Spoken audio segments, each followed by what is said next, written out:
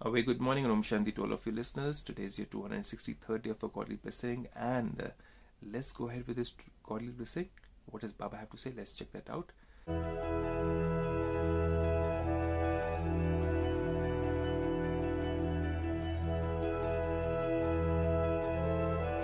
Baba says, May you be doubly, doubly non violent and constantly experience happiness and peace.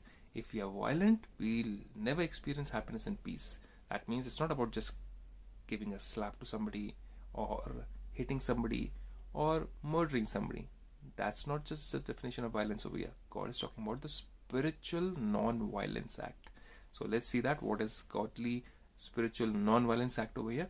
Baba says, by remaining stable in your Satopradhan stage. So, what is Satopradhan stage? Is the stage of complete purity where I have no defects in my thoughts, I am completely pure, and I've got nothing against anybody. I don't see any negativity in anybody. I have no complaints about anybody. I am not blaming anybody.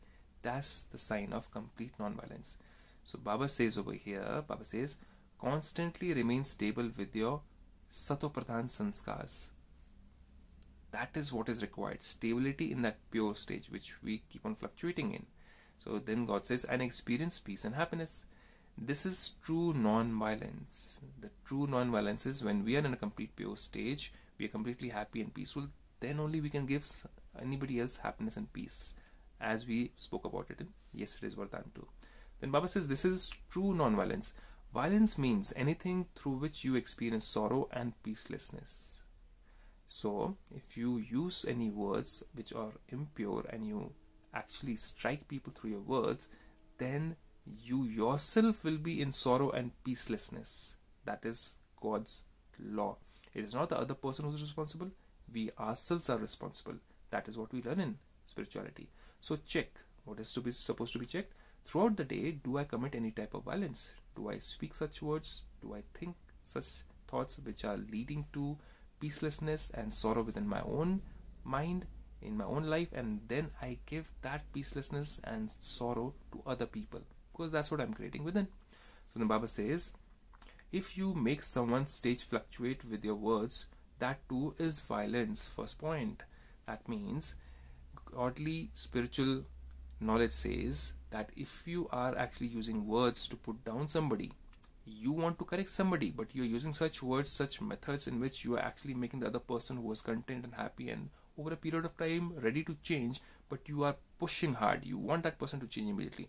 Then you are creating violence on a spiritual term because you're giving unhappiness and sorrow to that soul. Not a physical one maybe but mental. So that is also violence mental violence. If you are suppressing your satopradhan stage now second point if you're suppressing your satopradhan stage that means okay in this situation i better shout at this person. In this situation i be greedy. In this situation i have to be angry. That means you are using the opposite qualities from virtues to vices. Then if you are suppressing your satopradhan sanskar satopradhan are viceless sanskar. That means virtue sanskars. If you're suppressing those qualities and putting other sanskars in a practical form that is also violence because you're using greed, jealousy, ego, or you're creating that kind of atmosphere. That is also violence. So, what will happen to those souls who are creating this violence on a daily basis? If you're creating sorrow and unhappiness in somebody else's life, what are you going to get back? That's why many people, when they leave their body or what we call as death, they are suffering during those last couple of months. Why? Because they have given so much of unhappiness and sorrow to other people. They have used their whole life changing the whole world around using the energies, using anger, shouting at other people to bring them down, to change them. And they realize at the end of the deathbed that I used all my energies to change other people, whereas I could have changed myself so easily. And I would have been more healthier. I would have peacefully left my body during the time of death, which they realize at the end. So spirituality helps us to not to realize that at the end, but to realize right now. Baba says, therefore, become refined and have the awareness of being a great soul and doubly non-violent so refined in what in our thoughts words and actions and not give any kind of negative or imbalancing effect on anybody in their life that is what God wants us to do. For whose sake? For our own sake. So I leave you with this beautiful Vardhan. If you think that you need to change yourself, do comment down below. And what is the change you need to bring? Keep it to yourself. So have a blessed day. Om Shanti.